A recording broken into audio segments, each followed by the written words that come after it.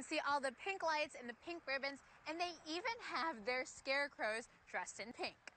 This parking lot is about to be filled with people getting ready to get their COVID 19 vaccination. And because of what's going on in nursing homes, is why she's so passionate about finding a possible solution to the virus.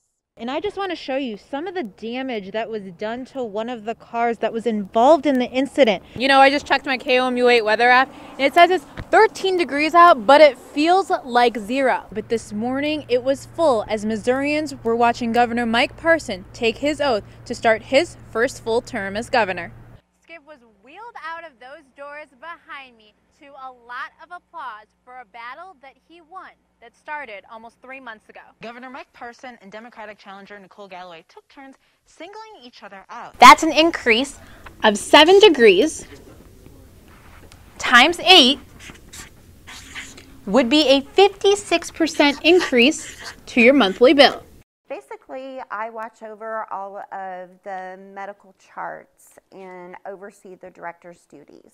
Stephanie Easley works for Valley Park Retirement Center. What's your favorite part of your job? Probably seeing my residents every day. She's seen what COVID can do at their sister facility in Montauk County. I don't think anyone was ever prepared for what we've seen and what started to happen with COVID and the promises of an effective vaccine. Said to be nearly 95% effective. We want to get it approved as quickly as we possibly can. I felt that I needed to make a decision, and I felt like doing this research and doing the vaccine that would benefit everybody. She got the first injection in September after researching the vaccine process a few months. It felt like a flu shot. After that second injection, she says she started feeling some mild symptoms like a headache, fatigue, and a low grade fever. Throughout the day, I was feeling those same signs and symptoms. She said the clinic in Chesterfield was very helpful for those who were participating. I feel that the clinical research group in Chesterfield went over and beyond to explain the whole process to us. She agreed to share her story with us for a specific reason. I wanted people to understand that the vaccine could and should possibly work. Jordan, the Capitol lawn looks empty right now, but this morning it was full as Missourians were watching Governor Mike Parson take his oath to start his first full term as governor. I am honored to stand before you today as the 57th governor of the great state of Missouri. Governor Mike Parson took his official oath of office Monday, surrounded by members of the General Assembly, his family, and citizens of Missouri. Three things he discussed were COVID 19, law enforcement, and education. So, we still got to deal with COVID 19. That liability is still out there. That's so real. Uh, I'm thankful the vaccine uh, process is going well. The legislative session starts we go back to the things that uh, is what got us here today uh, workforce development, infrastructure, some of the things that we know we got to prove on is health care. As of Monday afternoon, the governor said more than 150,000 vaccines have been administered in Missouri. Governor Parson also talked about law enforcement discussions being brought up during the General Assembly this year. You know, I, th- I, think as we move forward when it comes to law enforcement issues, what we've learned from this summer, there needs to be discussion about that. And I think there will be, uh, I hope to be a lot of discussion about that and figure out where we are going in the future. He also brought up education for children in the state.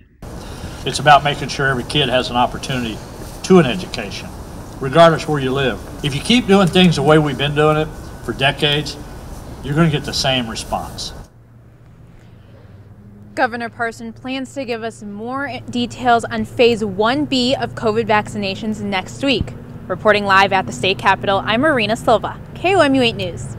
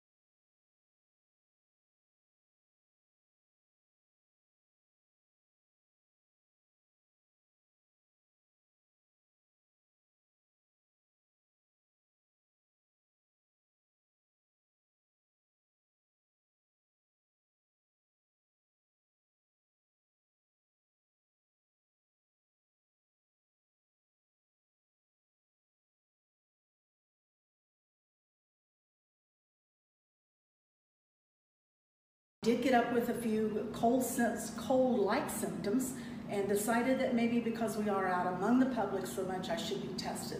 First Lady Teresa Parson took a COVID 19 test this morning, which came back positive. Her husband, Governor Mike Parson, also tested positive today. Governor Parson posted this to his Facebook account saying he plans on working while in isolation. Uh, I'll have to continue working here from the mansion to be able to do my daily duties, which I plan on doing. We are just a few weeks away from the November governor election, but for now, that in person campaigning will be on hold and his staff will need to get tested. Dr. Williams said they are working with the Cole County Health Department on contact tracing. But it was important to the governor and the first lady to announce this news, to be transparent about their situation. Normally, the identity of COVID 19 patients is kept a secret due to medical privacy rules. Governor Parson is the second governor to test positive. Oklahoma's governor was the first. So we are working with them and their staff to determine close contacts by definition of, of those who've been around them who need to be in quarantine. In his Facebook video, Governor Parson said his main concern is for his wife. Just appreciate it right now. My concern is the First Lady, her health,